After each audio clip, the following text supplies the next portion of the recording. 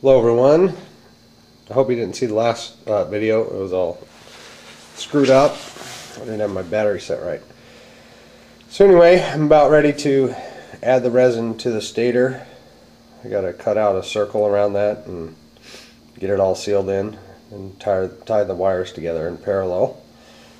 And then I have to encase that in resin as well. Make sure all the magnets are lined up perfectly and spaced out perfectly as well as the coils here. You can see I made the new coils. It's best, I've read that you, the thickness or the, the more area of the coil that the magnet passes through is better and my other coils didn't have that area. Still 100 turn on 22 gauge wire. I used 22 gauge instead of a higher gauge like 14.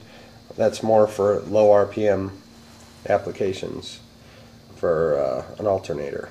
So all I did was make a homemade winder out of plastic there, plastic covers, and notched it out so I could tape it up while it's still inside the. This turns to here, sideways, and you, you can tape it up. So it's pretty cool. Just something I threw together. You can see it's just clamped down. So what are you gonna do? You got to work with what you got. So anyway, that's the update. I'm going to encase it in this stuff I got AutoZone. It's just a fiberglass resin jelly and you put a little hardener in it.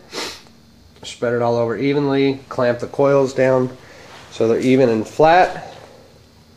And do the same with the uh, rotor on the magnets and stuff. I'll hook it up, throw it on a bridge rectifier and see if we can make some electricity with the pulse motor. Anyway, talk to you guys later. Let me know what you think. Ciao.